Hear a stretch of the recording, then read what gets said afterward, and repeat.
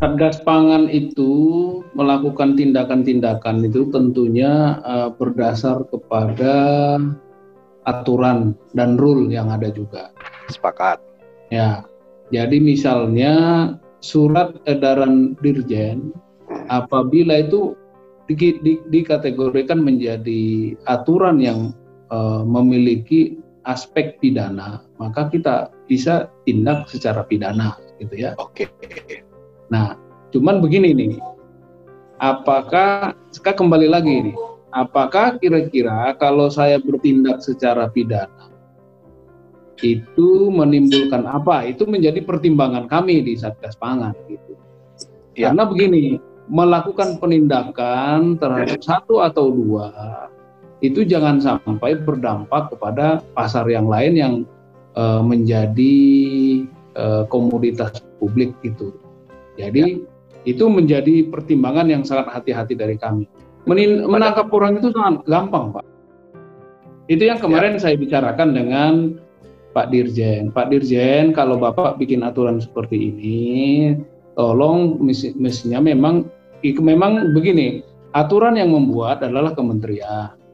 Betul. Tapi semacam se, uh, sebatas atau tingkatan aturan yang dibuat oleh kementerian, mestinya memang kementerian punya daya untuk mengawasi.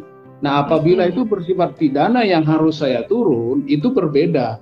Itu. Berbeda. Ya, apabila mereka meminta kepada Pak, ini kayaknya sudah tidak bisa saya atasi, Pak tolong atasi, itu saya akan turun gitu.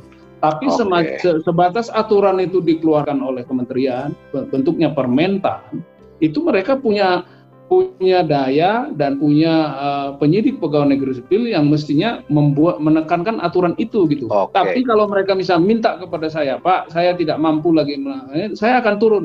Nah itu yang kemarin saya bicarakan dengan Pak Dirjen. Pak, Bapak masih mampu Pak enggak? Nah itu jawaban itu yang saya tunggu. Oke. Okay.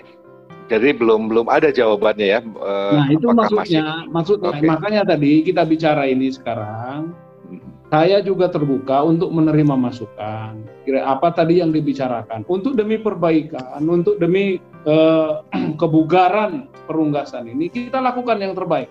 Kalau misalnya uh, Kementerian Pertanian tidak mampu, nanti saya akan menjemput bola gitu. Okay. Kalau itu mas mas mas distraction mem membuat kerusakan kepada publik, mereka bisa pakai undang-undang uh, perlindungan konsumen. Oke. Okay. Nah, jadi nah, sekarang kalau saya kenakan itu apakah apakah ini kan berdampak. Berarti kalau saya kenakan itu semua, berarti semua akan saya tindak gitu tanpa terkecuali kan? Ya, ya, ya. Nah, betul, betul. Dampaknya apa? Itu. Nah, itu ya kita pertimbangkan bersama gitu.